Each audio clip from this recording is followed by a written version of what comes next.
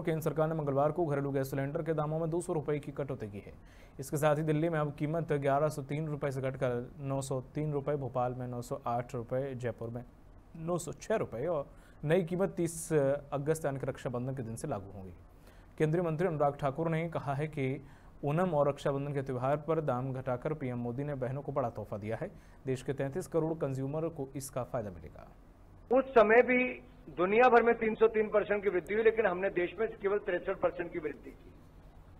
लेकिन आज ओनम और रक्षाबंधन के इस पावन अवसर पर प्रधानमंत्री मोदी जी ने निर्णय लिया है कि दो सौ रुपया गैस सिलेंडर के दाम कम किए जाएँगे।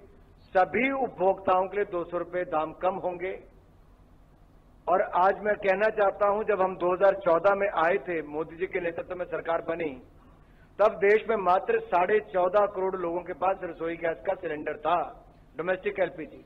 आज वो बढ़कर 33 करोड़ हुए जिनमें से 9 करोड़ 60 लाख उज्ज्वला गैस सिलेंडर, जो हमने मुफ़्त में गैस कनेक्शन दिए थे, और उज्ज्वला गैस योजना वालों को दो सौ सब्सिडी पहले ही मिलती है। तो सभी उपभोक्ताओं को जो डोमेस्टिक गैस सिलेंडर यूज़ करते हैं, उसका दाम दो सौ रुपये कम कर दिया गया है। रक्षाबंधन पर देशभर की बहनों के लिए एक बहुत बड़ी सौगात नरेंद्र मोदी जी ने दी है।